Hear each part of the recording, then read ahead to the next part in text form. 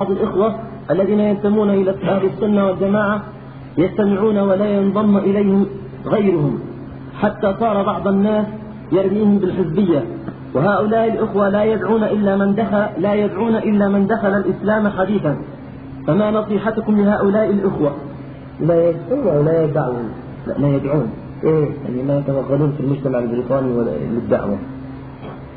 إنما يقتصون أقول إن كانوا خائفين على أنفسهم من الفتنة أو من مجالسة الز- المبتدعة أو أنهم يريدوا أن يبينوا للناس أن المبتدعة على شيء من الضلال فلهم ذلك.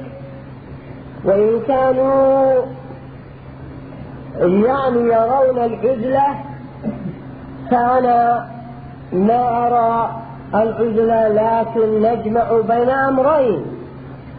نعتزل الباطل وأهله ونخالط الناس للدعوة إلى الله.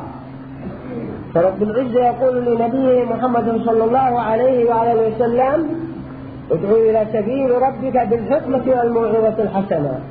ورب العزة يقول في كتابه الكريم ولتكن منكم أمة يدعون إلى الخير. ويأمرون بالمعروف وينهون عن المنكر وأولئك هم المفلحون.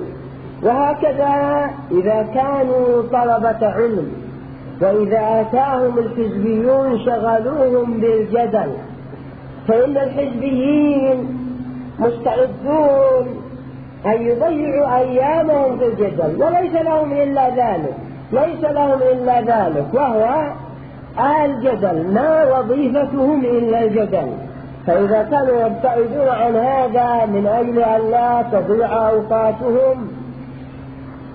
فبقي كيف حالهم لو أتاهم عالم سني أيلتفون حوله أم يبتعدون عنه؟ فماذا؟ فإن كانوا يلتفون حوله ويستفيدون منه كذلك. وإن كانوا يبتعدون عنه فأخشى أن يكون اعتزالهم هذا من وحي الشيطان. والله المستعان. ما عذرهم خوف الفتنة. عذرهم خوف الفتنة كما خيف الفتنة؟ نعم. لهم ذلك إذا كانوا يخشون على أنفسهم من الفتنة.